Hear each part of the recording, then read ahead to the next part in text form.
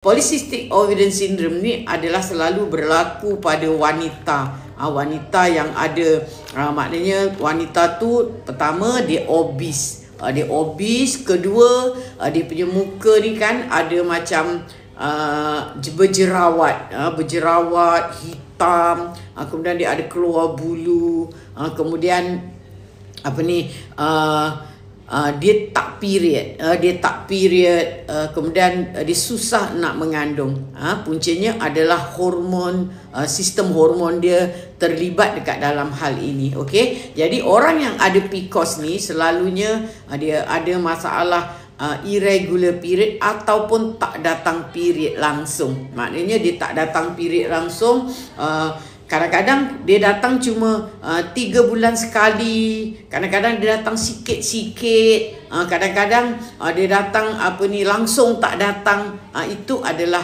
simptom-simptom kepada PCOS. Uh, yang kedua, dia ada banyak hormon androgen iaitu hormon yang selalunya ada pada lelaki. Ha, jadi orang yang ada PCOS ni selalunya dia akan ada berbulu.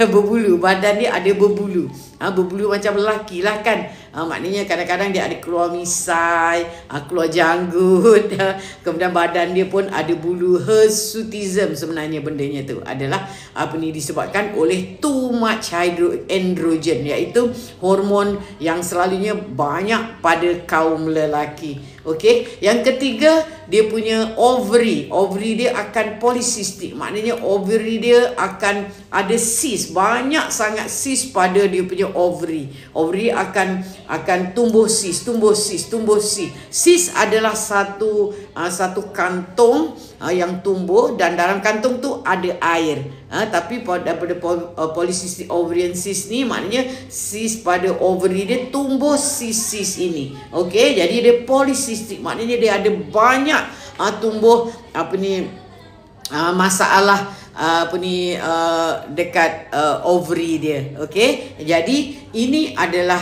uh, apa yang berlaku pada orang yang ada polycystic ovarian syndrome. Kenapa ini berlaku? Ha? Berlaku disebabkan oleh masalah selalunya disebabkan oleh masalah obesity. Ha? Dan uh, obesity sebenarnya adalah disebabkan oleh gula. Uh, gula yang berlebihan kat dalam darah you. Okey dan uh, kebanyakan orang-orang yang ada masalah ovarian uh, ni masalah PCOS ni sebenarnya dia akan baik bila dia menyelesaikan masalah dia bukan dengan ubat. Ha, sebab bila you ada masalah PCOS ni, you akan mengap, pergi jumpa doktor dan doktor akan bagi ubat. Ubatnya ubat apa tu? Ha, sebenarnya ubatnya adalah ubat yang menyebabkan you uh, macam uh, apa ni you uh, mengandung. Uh, maknanya you tidak akan datang period terus okey you tak datang period terus. Jadi bila you mengandung apa yang berlaku you tak datang period uh, dan uh, you akan dibagi hormon-hormon yang uh, menyebabkan badan you akan jadi bertambah teruk. Uh, sebenarnya PCOS ni sudah uh, adalah satu penyakit yang you sudah pun teruk. Uh, maknanya you dah uh, dah tak boleh pregnant dah tak boleh apa ni Ah dah uh, you gemuk, uh, you ada keluar bulu, you ada keluar apa ni period you datang tak regular uh, dan uh, period apa ni ovary you ada polycystic uh, tetapi ianya akan diterukkan lagi dengan ubat-ubat tertentu. Okey. Jadi untuk merawat sebenarnya adalah senang saja sebab ramai dekat US sana uh, di mana orang yang ada PCOS ni dia dibagi makan maknanya dibagi makan ketogenic diet ataupun di disuruh berpuasa. Ha, berpuasa dia akan menghilangkan masalah PCOS ini. Okey? Sebab ha, bila you all berpuasa, maknanya bila you all makan saja, maknanya you tiap-tiap hari makan tanpa you sedari apa yang you makan itu mengandungi gula yang banyak. Ha, especially bila you all makan makanan yang berproses. Ha, sebab bila kita makan makanan yang berproses, makanan itu sudah telanjang, sudah tak ada apa yang membalutkan dia. Ha, jadi bila tidak dibaluti oleh apa-apa, maknanya enzim senang datang ha, dan senang menghadamkan ha, karbohidrat you dan dia menjadi gula dan gula akan diabsorb masuk ke dalam salur darah you ha, dan dia akan menyebabkan gula berlebihan dalam salur darah you.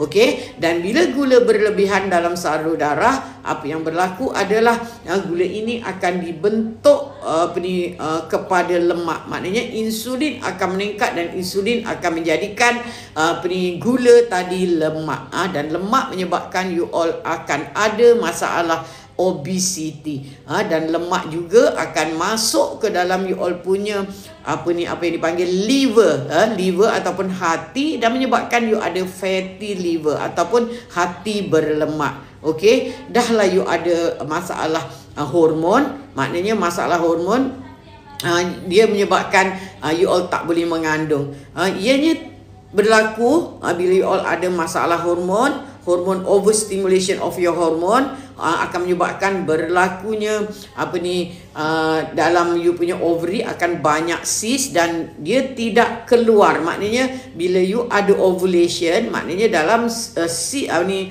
dalam ovary you akan membentuk apa ni ovum. Uh, dan ovum tu akan keluar ke dalam you all punya tube. Tetapi orang yang ada PCOS dia punya ovary itu tidak pecah. Ha, dan dia tidak keluar dia punya ovum tidak keluar dalam dia all punya uh, salving ataupun you all, you all punya tube untuk membentuk. Maknanya bila ada persenyawaan dia akan membentuk baby okey tetapi orang yang ada PCOS ini selalunya uh, because uh, you punya ovary you punya ovary telah pun diselaputi oleh lemak uh, oleh lemak maka you punya uh, ovum tidak keluar daripada you all punya uh, apa ni you all punya ovary dan dia membentuk sisis yang banyak gitu okey jadi untuk orang yang PCOS ni kalau dalam perubatan apa yang dia orang buat dia orang buat apa ni slip dia orang buat dia potong apa ataupun di uh, di uh, buat lubang dekat dia punya ovary. Tapi itu adalah untuk uh, perubatan lah apa yang dia orang buat. Jadi bila dibuat lubang dekat ovary dia, uh, orang tu bila orang tu apa ni akan ada ovulation ovulation akan uh, mengeluarkan dia punya ovum tu akan keluar ikut lubang ataupun uh, dia selitkan saja dia. Maknanya dia belah saja si, uh, macam dia belah sikit dekat ovary dia. Jadi uh, telur dia akan keluar dan berlaku persenyawaan. Tapi tidak semudah itu sebenarnya. Selalunya apa yang dibuat itu adalah uh, fail. Ha, sebab you all tidak membuang apa punca PCOS ha. PCOS puncanya adalah disebabkan oleh masalah obesity ha, bila masalah obesity you dengan menangani you all punya pemakanan. Maknanya makanan yang you makan kena kurang gula. Jadi apa yang you all perlu buat adalah dengan buang gula dalam makanan you. Dengan buang gula sahaja sebenarnya dia sudah pun uh, membuatkan bila you buat buang gula kan maknanya uh, gula tiada dalam makanan you maknanya tak boleh makan gula putih uh, gula merah uh, ataupun molasses ataupun madu ataupun buah-buah yang manis uh, semua tu mengandungi gula segera. Uh, gula segera adalah amylose. Uh, maknanya dia adalah gula yang cuma seketul macam tu dan dia adalah gula yang akan masuk ke dalam usus you dan akan diabsorb terus masuk ke dalam salur darah you.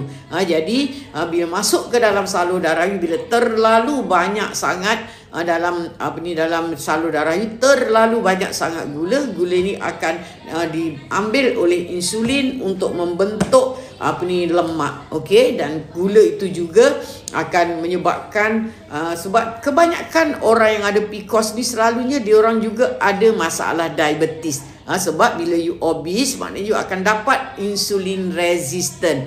Insulin resistant adalah insulin tak boleh ma- bawa masuk gula ke dalam sel. Ha, jadi bila gula tak boleh da- masuk ke dalam sel, gula akan berlebihan ke dalam kat dalam you punya salur darah. Gula itu sama ada dibentuk lemak, membentuk lemak menyebabkan orang akan jadi obese, membentuk uh, lemak dalam hati menyebabkan orang ada fatty liver uh, dan uh, dia juga uh, menyebabkan apa ni uh, insulin resistant okey? Jadi insulin resistant akan menyebabkan you all akan ada kencing manis. Jadi orang-orang yang obes uh, wanita yang obes ada potensi untuk dapat PCOS atau lagi satu dia orang boleh juga dapat masalah endometriosis. Endometriosis juga adalah satu penyakit yang tidak diketahui puncanya maknanya dia orang tak tahu kenapa you all boleh dapat endometriosis Okey, endometriosis pula adalah satu penyakit tadi PCOS kan. Ha, jadi PCOS dengan endometriosis lebih kurang uh, semuanya adalah penyakit wanita lah maknanya. Ha, jadi endometriosis pula adalah you all punya endometrium maknanya you all punya uterus dia berlaku dalam uterus. Ha, dalam uterus you ha, kat dalamnya kat tengah-tengah dalam uterus masa maknanya kat dalam lubang dekat dalam uterus itu ada endometrium. Maknanya endometrium sepatutnya berada dalam you all punya uh, lubang. Uterus senang je nak cakap lubang. Dalam dalam apa di lubang uterus lah kan?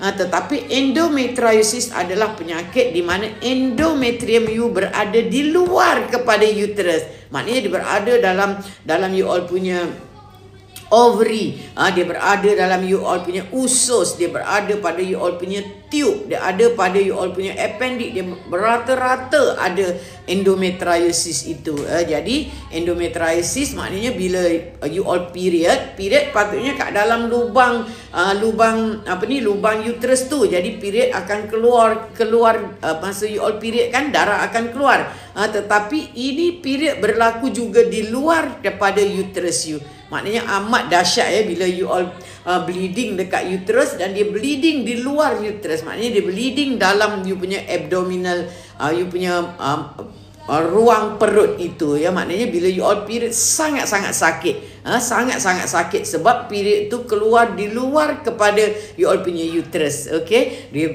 uh, period berlaku dekat dalam you all punya uh, you all punya uh, maknanya dalam you all punya usus dekat luar tu ada endometrium dan endometrium tu juga period. Maknanya period berlaku serentak dekat luar dan dalam uh, abdomen okey dan uh, apa ni uh, juga di dalam uterus jadi orang tu akan sangat sakit dan dia dan dalam uh, endometriosis dia akan membentuk sis-sis macam dalam abdomen you akan ada sis ya dan sis itu kebanyakannya Uh, setelah pun berlaku pendarahan kat dalam sis. Jadi sis itu akan bila uh, apa ni sis itu akan berwarna coklat. Ha, dia dipanggil coklat sis. Coklat sebab dia berhasil berasal daripada bleeding yang uh, berlaku semasa period. Okey. Jadi itu adalah keadaan uh, di mana you all akan dapat PCOS ataupun you all dapat endometriosis. Okey. Jadi dua-dua menyebabkan orang-orang wanita tidak boleh mengandung. Ha, bila PCOS you tak boleh mengandung sebab uh, ovary tak boleh keluar. Maknanya you punya ovum tak boleh keluar masuk ke dalam you all punya